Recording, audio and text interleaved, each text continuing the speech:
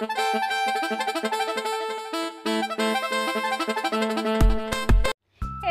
back to news word तो guys मैं हूँ सरोज और आज मैं आप सबके लिए फिर से लेके आई हूँ एक हेयर मास्क तो आज जिस मास्क की हम बात कर रहे हैं, वो है बनाना हेयर मास्क आगे वीडियो में आपको बताऊँगी कि इस हेयर मास्क को प्रिपेयर कैसे करना है. तो उससे पहले मैं आपको इसकी प्रॉपर्टीज़ बता दूँ बनाना की. बनाना होता है, उसमें काफ़ी मात्रा में जो है वो पोटेशियम वाइटामिन कार्बोहाइड्रेट्स पाए जाते हैं, जो कि हमारे स्कैल्प के लिए और हमारे हेयर के लिए काफ़ी अच्छा है। तो गाइज़ अब मैं आपको बनाना है मास्क के कुछ फ़ायदे बताती हूँ। तो फ़र्स्ट ये है कि हमारे स्कैल्प के लिए काफ़ी अच्छा है और सेकेंड जो है, वो ये है कि हम इस मास्क को रेगुलर बेसिस पे यूज़ करें तो हमारे बाल धीरे धीरे धीरे खुद ब खुद स्ट्रेट होने लगते हैं। तो गाइज़ थर्ड ये है कि हमारे बालों में नेचुरल शाइन ऐड करता है तो हमें इसका जो है वो वीक में कम से कम एक बार या टू वीक में एक बार इसका यूज़ ज़रूर करना है। तो धीरे धीरे धीरे धीरे आपको जो है वो डिफरेंस खुद ही दिख जाएगा।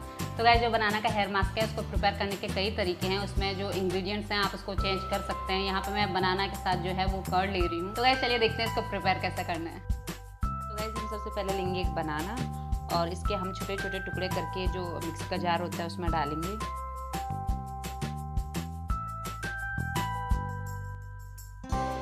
हम इसके साथ लेंगे दही। तो दही यहाँ पे आप अपने हेयर लेंथ के हिसाब से ले सकते हैं। मैं यहाँ पे दो से तीन चम्मच ले रही हूँ। अगर आपके बाल लंबे हैं तो आप ज़्यादा भी ले सकते हैं।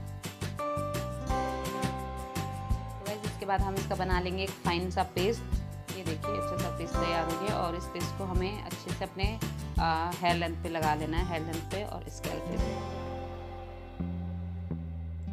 यहाँ बालों के छोटे छोटे जो हैं वो सेक्शन करके इन पर अच्छे से अप्लाई कर रही हूँ। अगर आपके बाल लंबे हैं तो आप दोनों की क्वांटिटी बढ़ा दीजिए। बनाना की आप एक जो दो बनाना ले सकते हैं और जो दही है, आप उसका अमाउंट भी बढ़ा सकते हैं।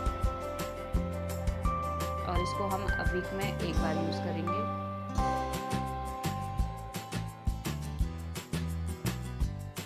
अगर आप इस मास्क को जो है रेगुलर बेसिस पे लगाओगे तो ये आपके बालों में एक अच्छी सी शाइन ऐड करेगा और आपके बालों को जो है धीरे धीरे जो है स्ट्रेट भी करेगा। तो आप इसको मंथ में दो से तीन बार आराम से यूज़ कर सकते हो, क्योंकि इसके कोई साइड इफ़ेक्ट्स है नहीं। इसमें जो दही ली है, वो आपके बालों को डीप कंडीशन करेगा और साथ साथ जो आपकी स्किन प्रॉब्लम होती है स्कैल्प की प्रॉब्लम होती है इचिंग वगैरह, उसको भी दूर करने में आपकी हेल्प करेगा। अच्छे से अप्लाई करने के बाद हम इसको क्लचर से सेव कर लेंगे। यहाँ पे मैंने क्लचर लगाया है, आप चाहे तो शावर कैप भी यूज़ कर सकते हैं और उसके बाद हम इसको एक घंटे बाद वॉश कर लेंगे